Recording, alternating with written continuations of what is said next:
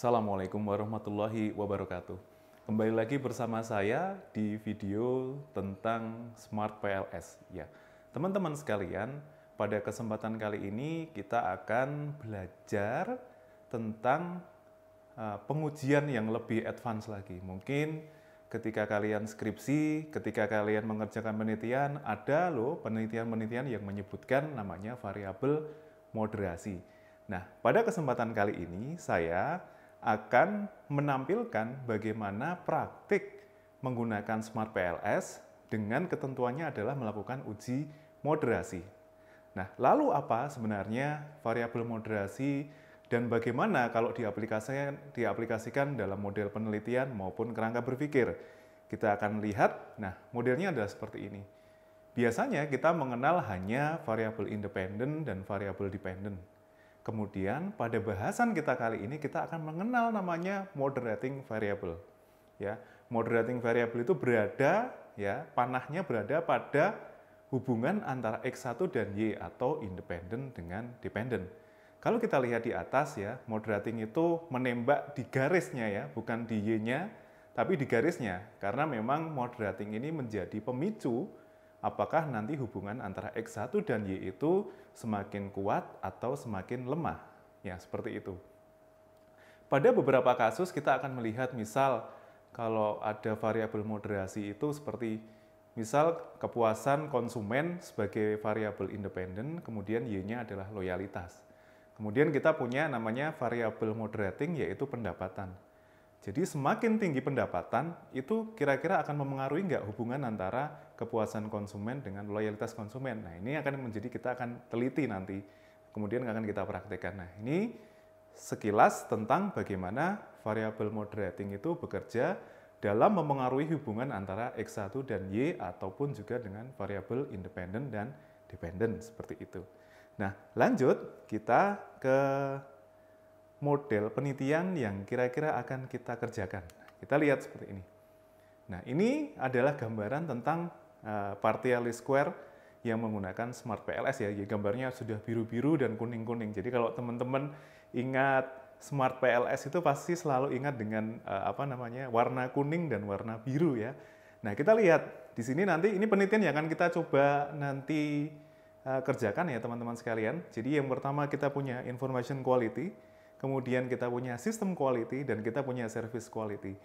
Dan kemudian kita juga punya namanya user satisfaction, dan kita punya trust. Nah, ini trust ini akan kita gunakan sebagai variable moderatingnya kayak gitu. Jadi mempengaruhi hubungan antara user satisfaction dan behavioral intention. Apakah kemudian user satisfaction ini ketika dalam kondisi trust yang tinggi itu akan mempengaruhi hubungannya dengan behavioral intention atau tidak. Baiklah, kita akan mencoba praktek menggunakan Smart PLS uji moderasi. Baik, anak-anak. Jadi model ini ya yang nanti akan kita buat di mana ada information quality, ada system quality, ada service quality, ada user satisfaction, kemudian ada trust sebagai variabel moderasi dan kemudian dihubungkan dengan behavior intention gitu. Jadi sebelum saya lanjut anak-anak perlu diketahui ya, jadi moderasi itu menggambarkan sebuah situasi di mana hubungan antara ya antara dua variabel. Nah, dalam penelitian ini, dalam model penelitian ini ya itu menghubungkan antara user satisfaction dengan behavioral intention gitu. Ya, menghubungkan dua variabel. Jadi user satisfaction sebagai uh, independennya dan behavior intentionnya sebagai dependennya. Nah, di sini kita punya trust sebagai variabel moderasi ya. Trust ini akan mempengaruhi hubungan apakah dia akan memperkuat hubungan user satisfaction kepada behavioral intention atau justru memperlemah hubungan keduanya. Nah, langsung saja kita praktekkan bersama ya. Uh, kita buat new project ya, file, kemudian create new project, kita buat praktikum moderasi 1. Ya, kita oke. Okay. Kemudian langsung uh, kita double klik to import data ya, kita double klik. Kemudian data relevan yang sudah saya siapkan. Ingat filenya harus CSV. Kemudian kita oke. Setelah itu kita langsung klik praktikum moderasinya, kemudian kita buat gambarnya ya. Kita buat laten variabelnya satu karena memang kalau menggunakan uh, SEM kita akan mengenalnya menggunakan variabel laten ya, bukan variabel uh, independen dependen lagi tapi sudah menggunakan variabel laten karena memang variabel laten adalah variabel yang tidak bisa diobservasi secara langsung seperti itu. Nah, kita menggunakan variabel laten, kita ganti dengan information quality. Oke, kita lanjutkan kemudian di construct atau variabel kedua, kita punya system quality. Oke, Kemudian pada konstruk ketiga atau variabel ketiga, kita punya service quality. Kalau teman-teman tahu, sebenarnya ketiga variabel ini merupakan variabelnya Dillon and Maclean ya, model penelitian di tahun 2003, model yang sangat terkenal sekali, yang menggunakan tiga unsur ini, information quality, system quality, and service quality. Kemudian kita masukkan lagi variabel latennya, yaitu user satisfaction ya.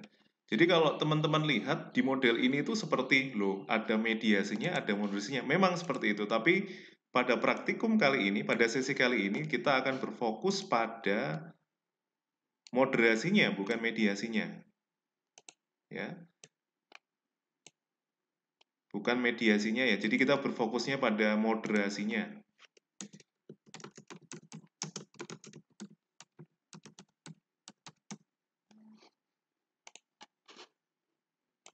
Kemudian kita buatkan behavioral intention.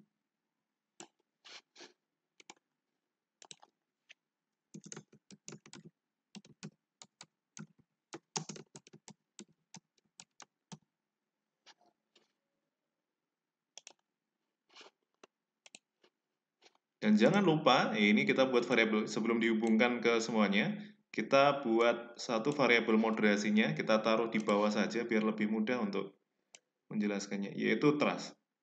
Trust ini merupakan eh, apa namanya variabel moderasi yang nanti akan mempengaruhi hubungan antara user satisfaction dengan behavioral intention. Oke, semua sudah kita buat panahnya kita bisa masukkan dulu sebelum nanti kita masukkan import datanya. Oke, yang moderasi saya gunakan nanti di akhir ya untuk lebih bisa memudahkan penjelasan. Kita masukkan ya eh, indikatornya satu-satu. Jadi kalau anak-anak tadi sudah atau teman-teman sekalian sudah uh, mengupload data dari CSV, nanti kemudian akan langsung muncul di indikator seperti ini. Jadi datanya sudah terupload dengan baik, kemudian akan langsung masuk ke bagian uh, indikator sini.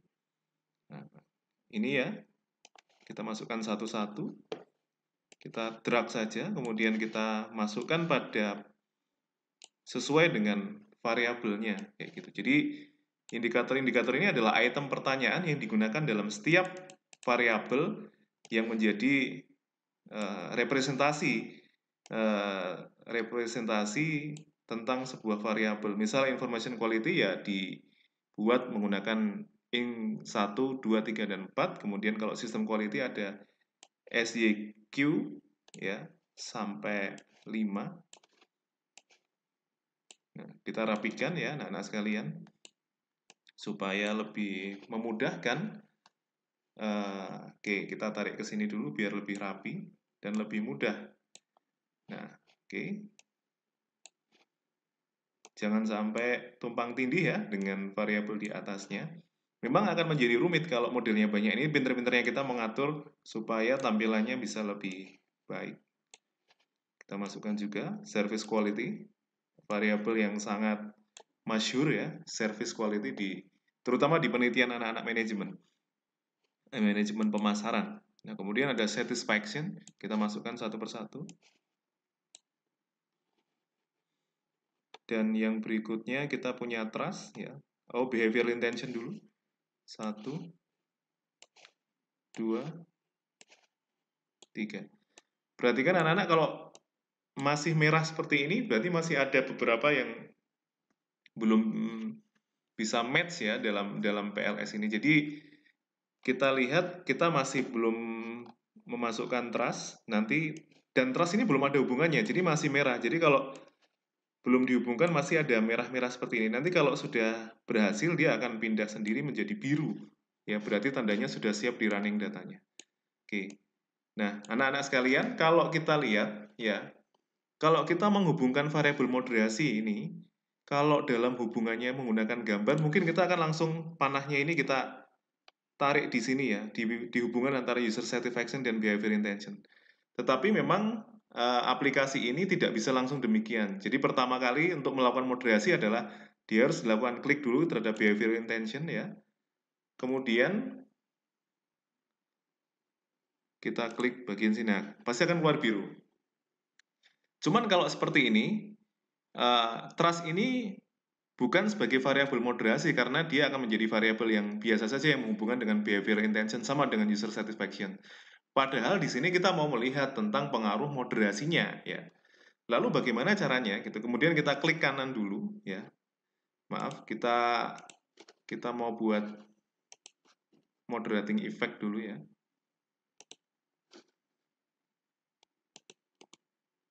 Nah, kita sudah keluar nih. Dependennya adalah behavior intention ya. Kemudian moderatornya siapa? Moderatornya adalah trust, variabel moderasinya. Independennya siapa? Adalah user satisfaction kayak gitu. Kemudian kita langsung oke okay saja. Nah, pasti kemudian akan keluar moderating effect seperti ini. Jadi seperti itu ya. Uh, cara membuatnya saya ulang. Misal saya delete dulu. Saya coba delete. Ya. Nah, pada posisi behavior intention itu kita klik kanan saja. Kemudian add moderating effect. Ya, moderator variable, kemudian ada trust, ya moderatornya, kemudian independennya adalah user satisfaction. Kemudian kita oke. Okay. Seperti itu. Nah, kemudian kita akan melakukan uji validitas dan reliabilitas dulu.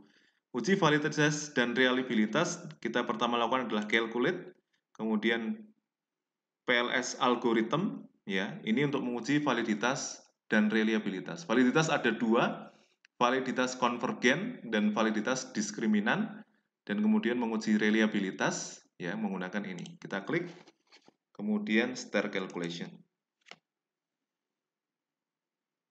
Ya, di mana kemudian kita bisa melihat, yang pertama harus kita lihat adalah construct, reliability, dan validity ya.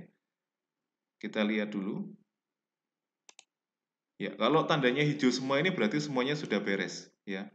Kronba alpha itu untuk menerangkan reliabilitas ya. Nah, kalau di Smart PLS atau di SEM itu ada dua yang kunci, yaitu pertama Kronba alpha dan yang kedua adalah composite reliability. Rata-rata biasanya mereka akan terdukung jika di atas 0,7 ya. 0,7 antara Kronba alpha dan composite reliability. Tapi ada sebagian pendapat yang mengatakan 0,6.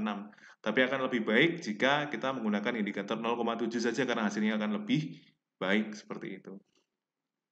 Kemudian ada average varian extract atau AV. AV ini harus di atas 0,5 ya, harus di atas 0,5 atau sebagian ada yang mengatakan di atas 0,6 seperti itu. Nah, itu ya untuk reliabilitasnya, ya reliabilitasnya. Nah, kemudian kita akan melihat outer loading-nya dulu kedua. Outer loading pastikan bahwa semuanya tidak ada yang merah. Nah, di sini semuanya hijau ya. Semuanya hijau berarti semuanya beres, ya. Karena semuanya di atas 0,7 behavior intention, information quality, kemudian service quality, system quality, trust, dan user satisfaction-nya beres seperti itu. Kemudian kita akan lihat diskriminan validity ya, diskriminan validity. Pastikan bahwa nilai yang di paling atasnya, misal ini 0,882, ini 0,971, 0,884 dan sebagainya harus di atas nilai di bawahnya, ya. Ya, jadi harus nilai ini harus lebih tinggi dibandingkan dengan angka-angka di bawahnya. Nah, kita lihat angkanya lebih tinggi.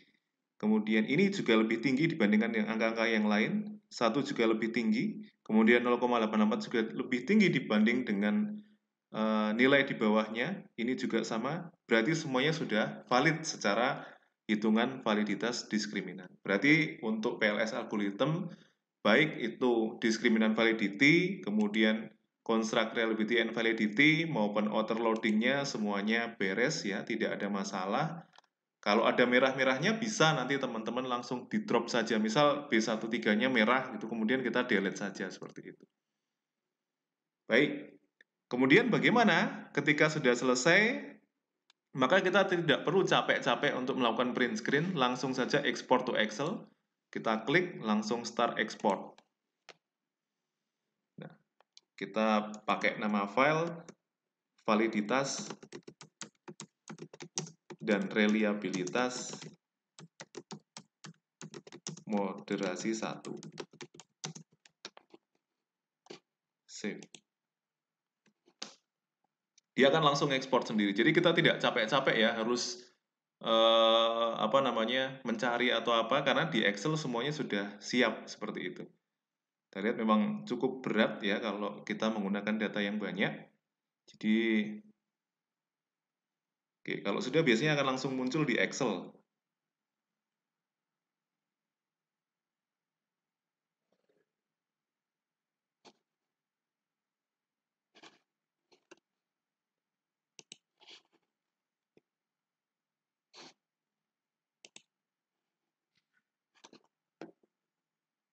Oke, ini sudah muncul. Kemudian Anda akan langsung bisa melihat seperti tadi, auto loading kita klik sudah siap.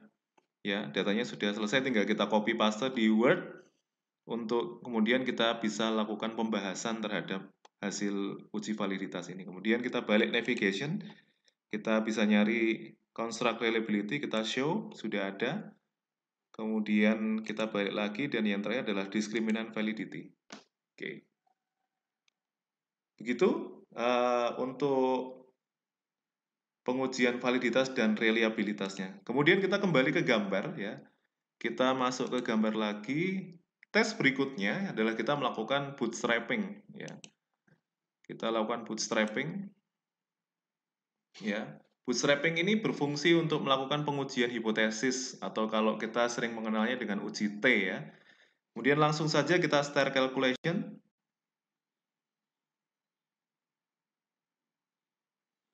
Oke, dan kemudian kita menemukan bahwa ada dua hasil yang merah. Ya.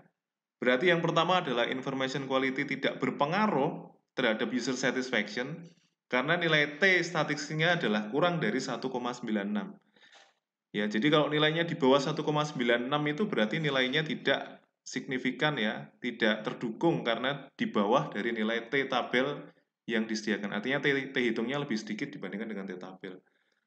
Ya, maka oleh karena itu kita lihat semuanya yang hijau terdukung karena semuanya di atas 1,96 dan di sini kurang dari 0,05. P-value-nya kurang dari 0,05 semuanya. Nah, setelah ini selesai, kemudian kita langsung sama dengan yang tadi ya, kemudian kita langsung export to Excel, berarti ini variabel moderasinya ini tidak terdukung ya, variabel moderasinya tidak terdukung. Kemudian filenya bisa kita langsung ekspor kemudian start export seperti itu. Uji hipotesis, ya, kemudian moderasi satu.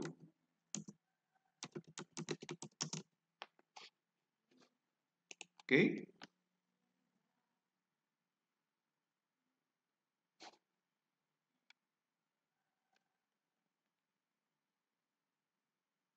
memang prosesnya sedikit lama, jadi persiapkan dengan baik laptopnya supaya lebih uh, kompatibel ya, seperti itu. Oke, sudah selesai. Jadi langsung kita lihat di bagian pet koefisien.